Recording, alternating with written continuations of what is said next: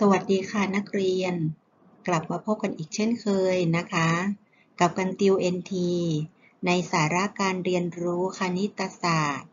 ชั้นประถมศึกษาปีที่ 3 เรื่องรูปเรขาคณิต 2 มิตินะคะ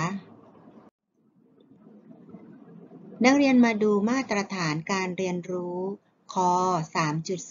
3.2 ใช้การนึกภาพ ใช้เหตุผลเกี่ยวกับปริภูมิ และใช้แบบจำลองทางเรขาคณิต ในการแก้ปัญหา ตัวชี้วัดคอ 3.2 ป 3 ทับ 2 บอกรูปเรขาคณิตต่างๆ ที่อยู่ในสิ่งแวดล้อมนะคะ ก่อนอื่นนะคะคุณครูขอทบทวนในเรื่องของรูปเรขาคณิต 2 มิติ จากสิ่งแวดล้อมรอบตัวเรานะคะ สิ่งแวดล้อมรอบตัวเราส่วนมาก จะเป็นสิ่งที่มีลักษณะเป็นรูปเรขาคณิตสามมิตินะคะ ก็คือมีความกว้าง ความยาว ความสูงนะคะ ความสูงหรือความหนานะคะ ซึ่งแตกต่างจากรูปเรขาคณิตสองมิติ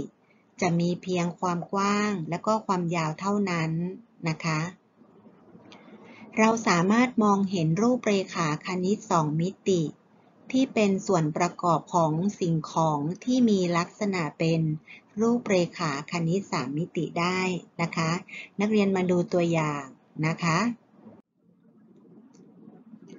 นักเรียนสังเกตดูกล่องนะคะ ถ้าเรามองจากด้านข้างตรงนี้นะคะ จะเห็นเป็นรูปสี่เหลี่ยมผืนผ้า ใช่ไหมคะอ่า เสร็จแล้วนักเรียนมาดูสิ่งของอีกอย่างหนึ่งตรงนี้นะคะ นักเรียนสังเกตดูนะคะ จะเป็นทรงกระบอกใช่ไหมคะ แต่พอนักเรียนมองด้านบน นักเรียนจะเห็นเป็นรูปอะไรคะ เป็นรูปวงกลมใช่ไหมคะ ค่ะ ดังนั้นรูปเรขาคณิตสามมิติจะมีหลายชนิดด้วยกันนะคะ เช่น รูปทรงสี่เหลี่ยม มุมฉากนะคะ ทรงกระบอก หรือทรงกลมนะคะ แต่รูปภาพที่คุณครูยกตัวอย่างให้นักเรียนตรงนี้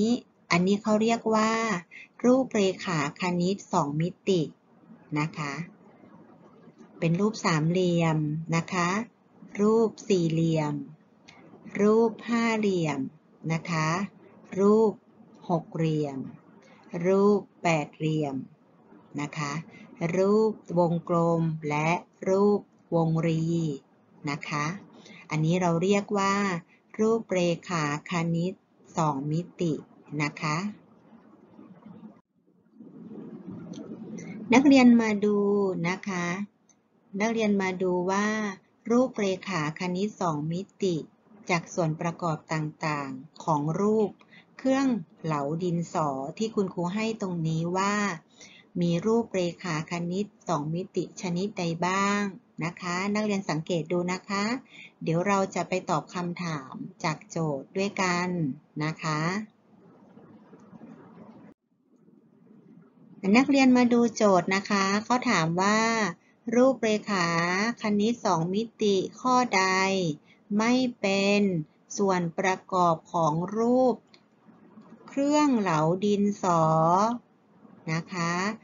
อันนี้คือเครื่องเหลาดินสอนักเรียนสังเกตดูครูจำลองให้ตรงนี้นะคะ 1. รูปสามเหลี่ยม 2. รูปวงกลมค่ะ 3. รูปสี่เหลี่ยม 4. รูปวงรี นะคะ สังเกตดูนะคะ นักเรียนคิดว่าข้อไหนคือคำตอบที่ถูกต้องคะค่ะ เมื่อนักเรียนได้คำตอบแล้วเราไปดูพร้อมกันนะคะ ว่านักเรียนตอบถูกหรือไม่นะคะเฉลยค่ะนักเรียนคะ ข้อที่ถูกต้องคือข้อที่ 4 เพราะไม่มีรูปวงรี ในรูปที่กำหนด ใช่ไหมคะ ไม่มีรูปวงรีใช่ไหมคะ อันนี้คือกบเหลาดินสอ มีรูปสามเหลี่ยม รูปสามเหลี่ยมอยู่ตรงนี้นะคะ นักเรียน รูปวงกลม รูปวงกลมอยู่ตรงนี้นะคะ รูปสี่เหลี่ยม นี่คือรูปสี่เหลี่ยมนะคะ อ่า แสดงว่าไม่มีรูปอะไรคะ วงรี ใช่ไหมคะ ดังนั้นข้อที่ถูกต้องคือข้อที่ 4 นักเรียนทำได้ไหมคะ ต่อไปนักเรียนมาดูนะคะ ข้อ 1 ผิด เพราะว่าอะไรคะ 1 ผิดเพราะมีรูปสามเหลี่ยม ในรูปนี้แสดงมีรูปสามเหลี่ยมนะคะ จึงไม่ถูกต้อง 2. ผิด เพราะมีรูปสี่เหลี่ยม เครื่องเหลาดินสอมีรูปสี่เหลี่ยมที่กำหนดให้นะคะ จึงไม่ถูกต้อง 3. ผิด เพราะมีรูปวงกลม ในรูปที่กำหนดให้เช่นกันจึงไม่ถูกต้อง ดังนั้นข้อที่ถูกต้องคือข้ออะไรคะ ข้อที่ 4 นะคะ